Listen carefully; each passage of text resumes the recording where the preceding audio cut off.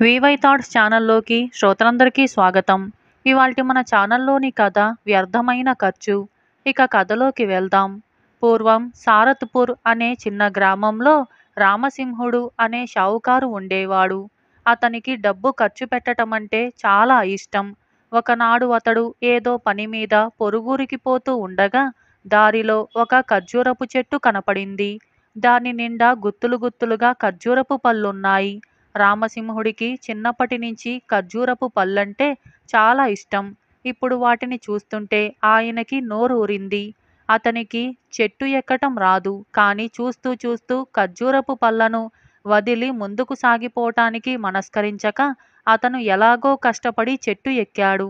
రామసింహుడు తిన్నన్ని పళ్ళు తిని మరికొన్ని జేబులో వేసుకొని చెట్టు దిగి వద్దామని కిందికి చూసేసరికి నేల ఎక్కడో పాతాళంలో ఉన్నట్టుగా కనపడి కళ్ళు తిరిగి కింద పడిపోతానని భయం పుట్టింది. ఆ భయంలో అతను భగవంతుణ్ణి తలుచుకొని స్వామి నేను క్షేమంగా కిందికి దిగితే వెయ్యి మందికి సంతర్పణ చేయిస్తాను అని మొక్కుకున్నాడు. అలా మొక్కుకున్న మీదట ధైర్యం వచ్చి అతను చెట్టు దిగటం ప్రారంభించాడు. కొంత దిగాక కిందికి చూస్తే ప్రమాదం కొంత తక్కువగా ఉన్నట్టు తోచింది. అందుచేత రామసింహుడు వెయ్యి మందికి కాకపోయినా ఐదు వందల మందికి సంతర్పణ చేయక తప్పదు. ఇది దేవుడి విషయం అని అనుకున్నాడు.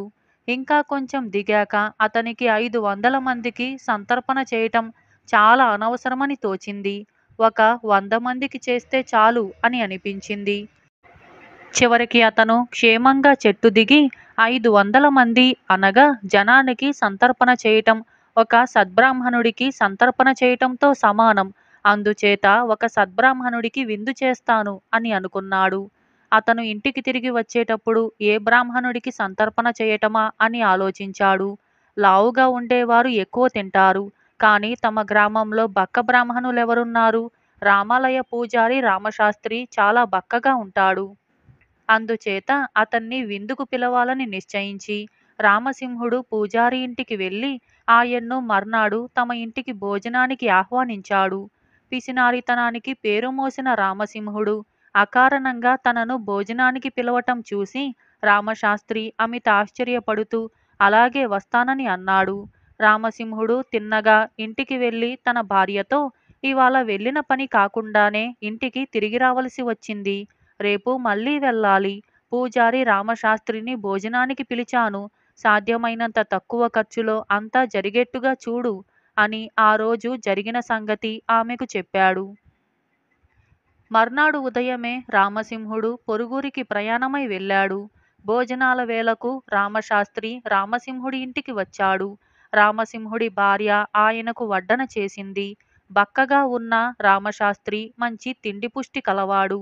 ఆయన ముగ్గురు తిన్నంత తిని తాను తినగా మిగిలిపోయిన పిండి వంటలు మూటగట్టుకొని తాంబూలం పుచ్చుకున్నాడు. అందులో దక్షిణ లేదు. అమ్మ సంతర్పణ చేసిన బ్రాహ్మణుడికి దక్షిణ లేని తాంబూలం ఇవ్వటం గృహస్థులకు మంచిది కాదు. ఇందులో రెండు బంగారు కాసులు పెట్టు అని అన్నాడు రామశాస్త్రి రామసింహుడి భార్యతో. చేసేది లేక ఆమె రెండు బంగారు కాసులు తెచ్చి రామశాస్త్రికిచ్చింది. ఇది జరిగిన మర్నాడు రామసింహుడు ఇంటికి తిరిగి వచ్చాడు. బ్రాహ్మణ సంతర్పణ ఎలా జరిగిందో ఎంత ఖర్చు అయిందో భార్య భర్తకు చెప్పింది. రామసింహుడి గుండె బద్దలైనంత పనయింది. అతను భార్యను తిట్టి నిన్ను పిచ్చిమోహన్ దాన్ని చేసుకున్నందుకు ఇల్లు దోచుకుపోయిన ఆ దొంగ వెధవ పని చెబుతాను అంటూ కర్ర తీసుకొని రామశాస్త్రి ఇంటికి బయలుదేరాడు.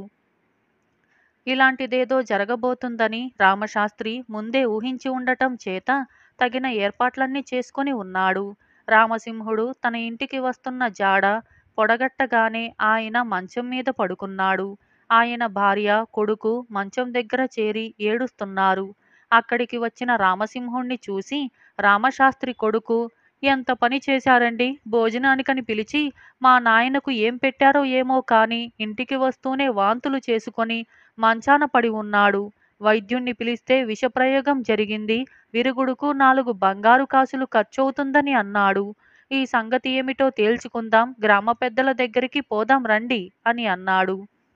గ్రామ పెద్దలు వైద్యం ఖర్చుతో వదలక జరిమానాలు అవి వేస్తారు. ఆ భయంతో రామసింహుడు బాబు వైద్యానికయ్యే డబ్బు నేను ఇచ్చుకుంటాను నన్ను వదిలిపెట్టు అని రామశాస్త్రి కొడుకును బ్రతిమాలుకున్నాడు. రామశాస్త్రి కొడుకు రామసింహుణ్ణి దయతలచినట్టుగా నటిస్తూ నాలుగు బంగారు కాసులు పుచ్చుకొని పంపేశాడు. అటు తరువాత రామసింహుడికి ఖర్జూర పళ్ళు గుర్తుకొస్తే గుండె దడదడలాడేది. ఇలా వ్యర్థమైన ఖర్చు అనే ఈ కథ సమాప్తమైంది. అలాగే మరొక కథ దయ్యాల కొంప. ఈ కథను రాసిన వారు వసుంధర. ఇక కథలోకి వెళ్దాం. కోదండపాణి అనే యువకుడికి పట్నంలో ఉద్యోగమైతే దొరికింది కానీ ఇల్లు దొరకలేదు. వాడు ఇంటి కోసం పది మందిని అడిగి అడిగి విసిగిపోయాక శ్రీమంతుడనే అతను తటస్థపడి ఊరి చివర నాకో మేడ ఉంది. దానికి దయ్యాల కొంప అని పేరుపడి ఎవరూ ఎవరు ఆ ఇంట్లో ఉండటం లేదు. నీ కావాలంటే అందులో ఉండొచ్చు. అద్దె కూడా ఇవ్వక్కర్లేదు అని అన్నాడు. ఇందుకు కోదండపాణి ఎంతో సంతోషించి ఆ రాత్రి అక్కడికి వెళ్ళాడు. ఇంటికి తాళం పెట్టి ఉంది. కానీ కోదండపాణి మెట్లెక్కుతూ ఉండగా తాళం దానంతటదే విడిపోయింది. తలుపులు దానంతటవే తెరుచుకున్నాయి. కోదండపాణికి ఒళ్ళు జలధరించిన ధైర్యంగా లోపలికి వెళ్ళాడు. ఆ మరుక్షణం తలుపులు వాటంతటవే మూసుకున్నాయి. కొంతసేపటికి లోపల పెద్దగా వెలుగు వచ్చింది. ఎదురుగా కోదండపానికి అస్పష్టాకారం ఒకటి కనిపించింది. నేను ఇంట్లో ఉండే పెద్ద దయ్యాన్ని నాతో పాటుండే మిగతా మూడు దయ్యాలు నా మాట వింటాయి. నువ్వు ఇంట్లో ఉండాలనుకుంటే నన్ను మెప్పిస్తే చాలు అన్నదా అస్పష్టాకారం. కోదండపాని పెద్ద దయ్యానికి దన్నం పెట్టి నేను ఈ ఇంట్లోనే ఉంటాను నువ్వేం చెబితే అది చేస్తాను అని అన్నాడు. అప్పుడు పెద్ద దయ్యం మిగతా మూడు దయ్యాలను పిలిచి ఇది నా భార్య వీళ్ళిద్దరూ నా కూతుర్లు. నా కూతుర్లిద్దరిలో ఎవరు అందమైన వారో తేల్చలేక చస్తున్నాను. వాళ్ళిద్దరికీ కోపం రాకుండా అసలు విషయం చెప్పి నా సమస్యను పరిష్కరించు అని అన్నది. కోదండపాని పిల్ల దయ్యాలు రెండింటిని పరీక్షగా చూసేసరికి అవి పల్లికిలిస్తూ భయంకరంగా నవ్వాయి. వాడు తన భయాన్ని లోలోపలే అణుచుకొని మేకపోతు గాంభీర్యంతో నేను నిజం చెబితే ఒకరికి తప్పకుండా కోపం వస్తుంది. కాసేపు గడువిస్తే ఆ కోపాన్ని చల్లార్చగలను. అందుకు నువ్వు ఒప్పుకుంటావా అని పెద్ద దయ్యాన్ని అడిగితే అది వెంటనే సరే అన్నది కోదండపాని పిల్ల దయ్యాల్లో ఒక దాన్ని వేలితో చూపుతూ ఇద్దరిలోకి ఇదే అందమైనది. కానీ ఇంత అందముండి ఇలా తల్లిదండ్రుల చాటున ఉండిపోవటమేమిటి? హాయిగా ఏ అడవిలోకైనా వెళ్ళిందంటే? మగదయ్యాలు నేనంటే నేనని పోటీపడి మరి దీన్ని పెళ్ళాడటానికి పోటీ పడతాయి అని అన్నాడు. అప్పుడా పిల్ల దయ్యం పెద్ద దయ్యంతో ఈ మనిషి నిజం చెబుతున్నాడు నేను అడవికి వెళ్ళిపోతాను అని తల్లిదండ్రుల కాళ్ళకు నమస్కరించి ఎగిరి వెళ్ళిపోయింది. అయితే రెండవ పిల్ల దయ్యం కోదండపాని మీద అలిగి ఇంట్లో ఒక మూలకు వెళ్ళిపోయింది. కోదండపాని ఆ దయ్యం దగ్గరకు వెళ్ళి నిజానికి నువ్వే అందగత్తెవు. ఆ విషయం చెబితే నువ్వు ఇంట్లో నుంచి వెళ్ళిపోతావు. మరి నాకు నిన్ను రోజూ చూడాలని కోరిక. అందుకే అబద్ధం చెప్పి దాన్ని బయటికి పంపేశాను అని అన్నాడు. పిల్ల దయ్యం ఈ మాటలకు కాస్త మెత్తబడి అది సరే కాని మళ్ళీ నా అక్క ఇక్కడికి తిరిగి వస్తే ఏం చెయ్యాలి? అని అడిగింది. మళ్ళీ అది ఇక్కడికి వస్తే దాన్ని చేసుకునేటందుకు మగదయ్యాలేవి ఇష్టపడలేదని అర్థం. అప్పుడది అందగత్తె కాదని నిర్ధారణ అవుతుంది. అలా జరగటం నీ అక్కకి ఇష్టం ఉండదు అందుకే మళ్ళీ ఈ ఇంట్లోకి అడుగు పెట్టదు అన్నాడు కోదండపాని నువ్వు నా కోపం తగ్గించటానికి అబద్ధం చెబుతున్నావు. నేను నిజంగా అందగత్తెను కాదు అన్నది దయ్యం వగలుపోతూ. నేను అబద్ధాలు చెబితే అది నీ సంతోషం కోసమే కదా అయినా నేను అందమైన వాళ్ళనే తప్ప అడ్డమైన వాళ్ళను సంతోషపెట్టను అన్నాడు కోదండపాని లేనిపోని కోపం నటిస్తూ. వెంటనే పిల్ల దయ్యం నువ్వు నిజమే చెబుతుంటే నన్ను పెళ్ళి చేసుకుంటావా? అని అడిగింది. నేను మనిషిని నువ్వు దయ్యానివి. మన పెళ్ళి ఎలా సాధ్యం? అన్నాడు కోదండపాని భయంగా. నేను కావాలనుకున్నప్పుడల్లా మనిషిగా మారగలను. ఒక మనిషిని పెళ్ళి చేసుకోవాలని కోరిక అన్నది పిల్ల దయ్యం. ఈలోగా పెద్ద దయ్యం కోదండపాణి వద్దకు వచ్చి అమ్మాయికి సర్ది చెప్పావా? దాని కోపం తగ్గిందా? అని అన్నది. నాన్న నన్నీయన పెళ్ళి చేసుకునేటందుకు ఒప్పుకున్నాడు అన్నది పిల్ల దయ్యం. ఆ మాటలకు తండ్రి దయ్యం తల్లి దయ్యం రెండూ కూడా ఆనందం పట్టలేక కీచుమంటూ అరచి గంతులు వేయసాగాయి. మీ గంతులు ఆపండి పెళ్ళంటే ఊరికనే అయిపోయేది కాదు నాకు కట్నం కావాలి అన్నాడు కోదండపాణి.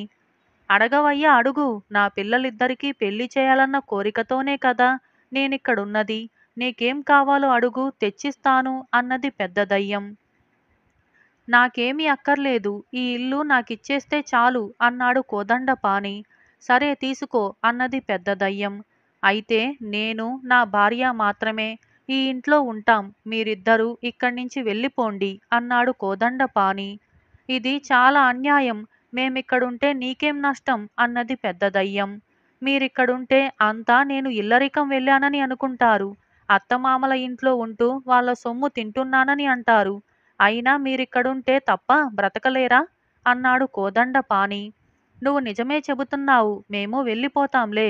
నా కూతురు కాపురం చక్కగా ఉంటే అదే పదివేలు అంటూ పెద్ద దయ్యం భార్య దయ్యం అక్కడి నుంచి కదిలాయి. తల్లి దయ్యం పిల్ల దయ్యానికి ఎన్నో నీతులు చెప్పి వెళ్ళింది. అంతా వెళ్ళిపోయాక నీ వాళ్ళందరినీ ఇంట్లోంచి పంపించేశానని బాధగా ఉంది నాకు అన్నాడు కోదండపాణి నువ్వు మంచి పనే చేశావు. అమ్మా నాన్నల కోరిక మా పెళ్ళి ఒక్కటే. మేము మనుషులుగా ఉన్నప్పుడు నాన్న మా ఇద్దరికీ పెళ్ళి సంబంధాలు కుదుర్చుకొని వచ్చాడు. ఆ సమయంలో శ్రీమంతుడైన అతను నాన్నను మోసం చేసి మా పొలమంతా కాజేశాడు. పెళ్ళిళ్ళాగిపోయాయి డబ్బు లేకుండానే తమ పెళ్ళవుతుందని తన అందాన్ని నమ్ముకున్న మా అక్క పెళ్ళి కొడుకు వద్దకు వెళ్ళి అవమానపడి వెనక్కు వచ్చి ఆత్మహత్య చేసుకుంది. ఆ దుఃఖంలో ఇంటిల్లపాది విషం మింగి చనిపోయాం. మా కుటుంబం అంతా పగ తీర్చుకునేటందుకు శ్రీమంతుడు కొత్తగా కట్టిన ఇంట్లో దూరాం. ఇదే ఆ ఇల్లు. ఇప్పుడు అక్క ధైర్యంగా తన పెళ్ళి తనే చేసుకుంటానని వెళ్ళింది. నా పెళ్ళి నీతో జరిగింది. నాకిప్పుడు ఇక ఏ కోరికలు లేవు అంటూ పిల్లదయ్యం కోదండపాణిని మెచ్చుకుంది. ఇప్పుడిక నీకు ఏ కోరికలు లేకపోతే ఇంకా ఇలా దయ్యమై ఉండటమెందుకు? అన్నాడు కోదండపాణి. అంతే పిల్లదయ్యం అక్కడి నుంచి మాయమైంది. దాని ఆత్మ స్వర్గానికి పోయి ఉండాలి. కోదండపాణి ఆ రాత్రంతా అక్కడ సుఖంగా నిద్రపోయాడు. తెల్లవారగానే కోదండపాణి వెళ్ళి శ్రీమంతుడికి జరిగిందంతా చెప్పాడు. శ్రీమంతుడు వాణ్ణి మెచ్చుకొని అన్ని విధాలా ప్రయోజకుడివైన నిన్ను నా అల్లుడుగా చేసుకోవాలనుంది. నీకు నా కూతురునిచ్చి పెళ్ళి చేసి ఆ మేడను కట్నంగా ఇస్తాను. అయితే ఒక్కగానొక్క కూతురు దాన్ని వదిలి మేముండలేము. మమ్మల్ని కూడా ఆ మేడలో ఉండనివ్వాలి అని అన్నాడు. శ్రీమంతుడి కూతురు తార చాలా అందంగా ఉండటంతో కోదండపాణి పెళ్ళికి వెంటనే ఒప్పుకుంటూ మీ అమ్మాయిని పెళ్ళాడటానికి నాకెలాంటి అభ్యంతరమూ లేదు. కానీ ఇల్లరికపటల్లుడిగా అనిపించుకోవటం నాకు సుతరాము గిట్టదు. అలా కాకుంటే నేను ఆ దయ్యం చిన్న కూతుర్నే పెళ్ళాడి ఉండేవాణ్ణి. దాని ఆకారం వికారమైన బుద్ధి కడిగిన ముత్యం లాంటిది. ఇక కట్నం మాటకొస్తే ఆ కట్నాలు కానుకలంటే అసలే నాకు సరిపడదు. నాకు ఉద్యోగం అంటూ ఉంది. ఆ వచ్చే జీతంతో నేను మీ కుమార్తె హాయిగా బ్రతకగలం అని అన్నాడు. ఆ జవాబుతో శ్రీమంతుడికి చేసేది లేక అయితే ఒక పని చెయ్యి. ఆ మేడకు దయ్యాల కొంప అన్న పేరు వచ్చింది కనుక ఎవరూ దానిలోకి అద్దెకు రారు. నువ్వు నీ భార్య అందులో ఉండండి అని అన్నాడు. ఇందుకు కోదండపాణి ఒప్పుకున్నాడు. తరువాత శ్రీమంతుడి కూతురుతో కోదండపాణి పెళ్ళి ఘనంగా జరిగిపోయింది. ఇలా దయ్యాల కొంప అనే ఈ కథ సమాప్తమైంది. అలాగే మరొక కథ తెల్ల ఏనుగు. ఈ కథ బర్మాదేశపు జానపద కథ. ఇక కథలోకి వెళ్దాం. పూర్వం బర్మా దేశంలోని ఒక చిన్న రాజ్యాన్ని హోలాంగ్ అనే రాజు పరిపాలించేవాడు. దాని రాజధాని నగరంలో క్వాంగ్యూ అనేవాడు ఎంత మాసిన బట్టలనైనా సరే శుభ్రంగా ఉతికి చలవ చేయటంలో బాగా ప్రసిద్ధికెక్కాడు. ఒకనాటి ఉదయం వేళ క్వాంగ్యూ దగ్గరకు మట్టి పాత్రలు చేయటంలో మంచి నేర్పరి అయిన కమ్మరివాడొకడు వచ్చి రాజుగారు నా కోసం కబురంపారు. రాణిగారికి ఒంట్లో బాగోలేదట. ఆమె సేవించే మందులు తయారు చేయటానికి ప్రత్యేకమైన మట్టితో ఒక పాత్ర చేయాలి అని అన్నాడు. అవునా అదృష్టవంతుడివి. రాజదర్శనం అంటే మాటలా? అన్నాడు క్వాంగ్యూ. అది నిజమే కానీ ఆయన్ను దర్శించేటందుకు కాస్త శుభ్రంగా ఉన్న దుస్తులతో వెళ్ళాలి కదా. ఇదిగో ఈ సంచిలో మాసిన బట్టలు తెచ్చాను. వాటిని రేపు ఉదయానికల్లా బాగా ఉతికి ఇవ్వాలి అని అన్నాడు. ఆ మధ్యాహ్నం క్వాంగ్యూ వాటిని శుభ్రపరిచేటందుకు వేడి నీళ్ళల్లో ఉడకబెట్టేసరికి నీలం రంగులో ఉన్న ఆ బట్టల రంగు వెలసిపోయి తెల్లగా అయింది. మర్నాడు కుమ్మరి వచ్చి జరిగింది చూసి క్వాంగ్యూతో పోట్లాటకు దిగి తనకు జరిగిన నష్టాన్ని గురించి రాజుకు ఫిర్యాదు చేస్తానంటూ అతనికి డబ్బులివ్వకుండా వెళ్ళిపోయాడు. కుమ్మరి రాజప్రాసాదంలోకి వెళ్ళేసరికి రాజు ఆహా ఏం తెలుపు? బట్టల్ని మల్లెపువ్వంత తెలుపుగా ఉతికిన వాడెవడు? అని కుమ్మరిని అడిగాడు. వాడు రాజుతో ప్రభు మన నగరంలోనే క్వాంగ్యూ అనే బట్టలు ఉతికేవాడున్నాడు. వాడు దేన్నైనా సరే ఆఖరుకు ఎలుకతోలునైనా సరే తెలుపుగా చేయగలడు. తమరు తెల్ల ఏనుగు కోసం ప్రయత్నిస్తున్నారు కదా? గజశాలలో ఉన్న ఏ ఏనుగునైనా వాడికి అప్పగించండి. వాడు దాన్ని తెల్ల ఏనుగుగా చేయగలడు అని అన్నాడు. రాజు వెంటనే క్వాంగ్యూ కోసం భటులను పంపాడు. వాడు వచ్చి రాజు చెప్పింది విని ఇది కుమ్మరి తనకు హాని చేసేటందుకు వేసిన పథకం అని గ్రహించి రాజుతో ప్రభు ఒక్క ఏనుగునేమిటి? తమరాజ్ఞాపిస్తే గజశాలలో ఉన్న ఏనుగులన్నింటినీ తలతల్లాడే తెల్ల ఏనుగుల్ని చేయగలను. అయితే అందుకు ముందుగా ఏనుగును బట్టల్ని ఉతకిచ్చినట్లుగానే వేడి నీళ్ళల్లో ఉడకబెట్టాలి. అందుకు అవసరమైన తొట్టెను అంతకుముందు తమ దర్శనానికి వచ్చిన కుమ్మరి చేత వేగిరం తయారు చేయించండి అని అన్నాడు. మరుక్షణం రాజు కుమ్మరిని రప్పించి ఒరేయ్ రేపు సూర్యోదయానికల్లా ఏనుగు నిలబడటానికి వీలైనంత పెద్ద తొట్టెను చేసి తీసుకురా. అలా తేకపోయావో నిన్ను రాజ్యం నుంచి బహిష్కరిస్తాను అని అన్నాడు. ఇది క్వాంగ్యూ పన్నిన పన్నాగం అని తెలుసుకొని చేసేది లేక కుమ్మరి ఇంటికి పోయి ఆ రాత్రంతా ఇంటిల్లపాదిని మట్టి మోయటానికి అడుసు తొక్కటానికి సాయంగా తీసుకొని తెల్లవారుతూ ఉండగా తొట్టెతో రాజుగారి వద్దకు వచ్చాడు. క్వాంగ్యూ తొట్టెలో నీళ్ళు పోయించి దాని చుట్టూ మంటలు పెట్టాడు. నీరు వేడెక్కుతూ ఉండగా మావటివాడు గజశాల నుంచి ఏనుగునొకదాన్ని తోలుకొచ్చి తొట్టెలో దింపాడు. దానితో తొట్టె ముక్కలు చెక్కలుగా పగిలిపోయింది. అది చూసి రాజు కొమ్మరికేసి కల్లెర్ర చేసి ఒరేయ్ నువ్వు చేపట్టిన వృత్తికి అవమానకరం. రేపు సూర్యోదయానికి రెండు గడియల ముందుగా గట్టిగా ఉండే మరొక తొట్టెను చేసి తీసుకురాకపోయావో నీ తల కొట్టేయిస్తాను అని అన్నాడు. అలాగే ప్రభు అంటూ కుమ్మరి బయలుదేరి ఆ రాత్రికి రాత్రే రాజ్య సరిహద్దులు దాటి పారిపోయాడు. అది విని రాజు కోపం పట్టలేక ఊరనించి కత్తి దూసి క్వాంగ్యూను నువ్వు ద్రోహం తలపెట్టలేదు కదా అని గద్దించాడు. క్వాంగ్యూ రాజుకు వంగి వంగి దన్నాలు పెట్టి ప్రభు ఏనుగును నా ఇంటికి పంపండి. రేపీ పాటికి ఏనుగు నాదా? లేక ఐరావతమా అని తమరు భ్రమపడగలరు అని అన్నాడు.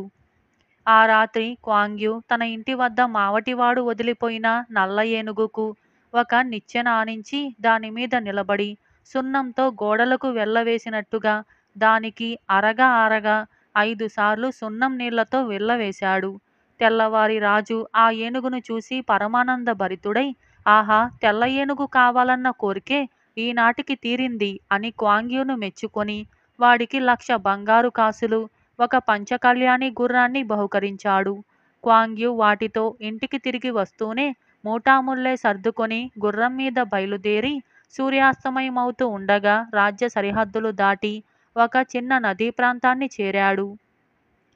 అక్కడ చిరిగిపోయిన బట్టలతో ఒకడు నదిలో గాలం వేసి చేపలు పడుతూ కనిపించాడు. క్వాంగ్యు వాడికేసి చూసి గుర్తించి ఓహో నన్ను సాధించబోయి కుమ్మరివి జాలరువయ్యావన్న మాట అని అన్నాడు. కుమ్మరి క్వాంగ్యూను చూసి తెల్లబోతూ ఇక్కడికెందుకొచ్చినట్టు? ఈ గుర్రమేమిటి? అని అడిగాడు. అప్పుడు క్వాంగ్యు వాడికి జరిగిందంతా చెప్పి పద నది దాటి మరొక రాజ్యం చేరి ఎవరి వృత్తులు వాళ్ళం చేసుకుంటూ మిత్రుల్లాగా బ్రతుకుదాం అని అన్నాడు. ఇలా తెల్ల ఏనుగు అనే ఈ బర్మా జానపద కథ సమాప్తమైంది. ఇటువంటి మరిన్ని కథల కోసం ఇప్పుడే మన ఛానల్ని సబ్స్క్రైబ్ చేసుకోండి. మీకు ఈ కథ నచ్చిందా అయితే ఇప్పుడే లైక్ చేయండి. అలాగే మీకు ఏ కథ నచ్చిందో నాకు కామెంట్ సెక్షన్లో కామెంట్ చేయండి.